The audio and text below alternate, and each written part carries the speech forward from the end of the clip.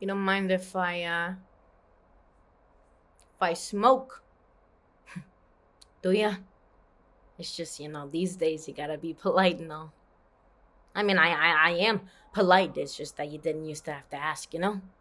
But hey, I got manners just as anyone else, so, uh, you don't mind, do you?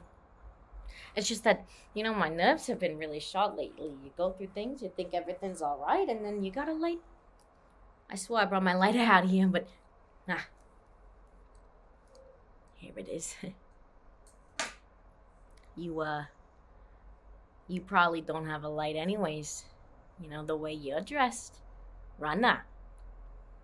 Supposed to be real good for you running. You know, myself, I could just never see it. You know, seems like you only end up right back where you started. Tired. You got kids? I, uh, I got, you know, I don't gotta tell you how uh, raising kids is. I mean, especially these days, can be total hell. What are you supposed to do with them? Sit around and play Miss Mary Jane Holy Mother? Well, you what? Wipe the noses? Make sure there's milk in the goddamn refrigerator? You know, these cigarettes these days, huh? Pretty expensive. You know, for some people, it comes down between food and a pack of cigarettes, huh? I never done that. If anyone asks, I'm good at that. Cooking.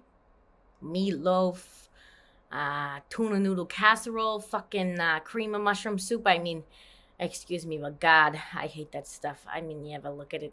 I mean, really look at it. Fucking, fucking cat vomit. Fucking something the dog puked up. And I mean, that smell. Whew. I mean, I guess you can put, you know, a can of tuna with those little flat, crunchy noodle things, and, you know, it takes the goddamn smell away. The kid's.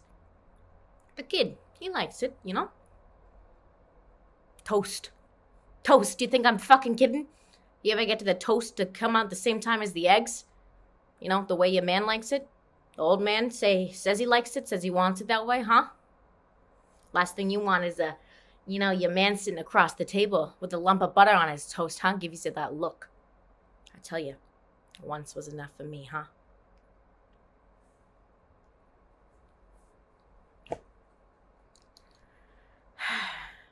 All right, all right. I'm trying to quit. See, rubber band. It means I really want one, huh? So I really want one. Do you mind? You know, Joe, he tried quitting. Came home one day, said, uh, he's quitting.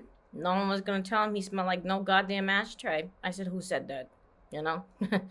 he said, uh, what he always says to me. He says, shut up and it's none of my, you know? So I just. Anyway. That's what what started it, you know, quitting like that. It was seeing uh, him smoking. Seeing me smoking, wanting to stop, you know. I wouldn't. I couldn't. You know, said I'd go outside. Said it didn't matter if I went outside. He didn't want to think of me smoking every time I went outside, every time I touched the doorknob. He gave me that look. So I quit. While he was home, at least, you know. Still had to take out the garage, you know, grab a quick smoke. That was, uh, that was the problem, of course, you know. That's when uh, Kyle started fussing.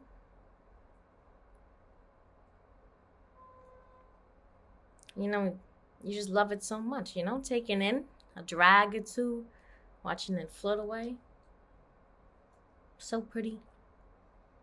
You know, but the baby was fussing. I mean, I knew Kevin could take care of it. He knew what the bottle was. He's such a big boy, such a good big brother. You know, maybe if I'd just been a little quicker, maybe. Joe's nerves and all, you know? Like I said, you know, me smoking wasn't doing any good for anyone.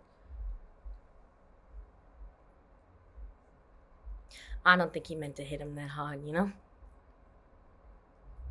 He was uh, just trying to get Kevin to feed the baby faster. Corner of the table. It was really my fault, I know. You know, it's really nobody's fault. You know, Joe, he didn't know his own strength. So now, I'll get through this funeral. To me, the baby, and Kyle. When we get back from child welfare, we'll figure out a way to go on. Some way, one way or another.